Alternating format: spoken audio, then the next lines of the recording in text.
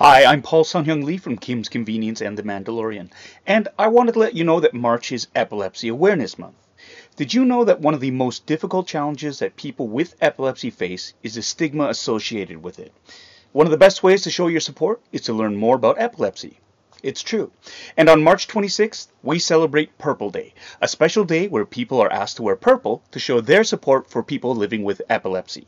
So this March 26th, on social media and in life, show your purple.